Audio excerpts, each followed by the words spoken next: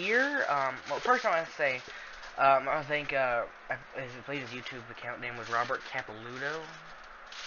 Anyway, because, uh, you know, the comment he slash you, depending on who's watching, um, posted was just mainly what got me to go back to this, because I would have continued doing the microscope thing, but not yet. Well, anyway, here, we have aluminum foil.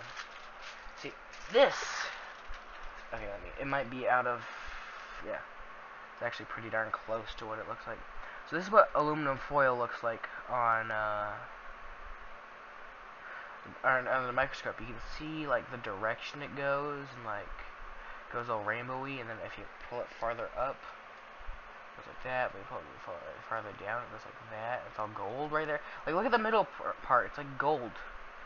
You go like this, and then that whole right part's gold, and it's like, woo. Just shaking the thing a bit. But yeah, you can see all the little lines for where what direction it was going. But then let me just zoom this out a bit and we get this. Now isn't that crazy looking? I mean, yeah. Like doesn't that look like some crazy like alloy from the future? Nope, it's aluminum or depending on where you are, aluminium. See, this part's a little more crumpled up, and it looks a little more like Krypton, as I said before. But this part looks all flat and crazy, but it's like... Almost looks like, uh... What's called? What's that movie? The Batman movie, uh... Instead of suit was, uh... Actually, they got a lot of controversy for the bat suit having nipples.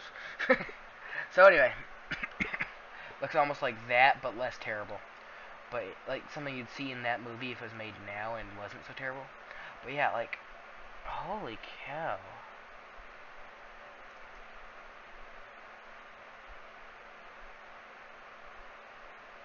Like, you can see all the little folds and stuff made by crumpling up the...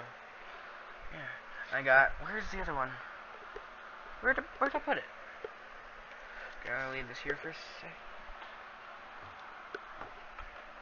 Okay, I I think I might be allergic to tomatoes because I just did the tomato thing and my hand hurts.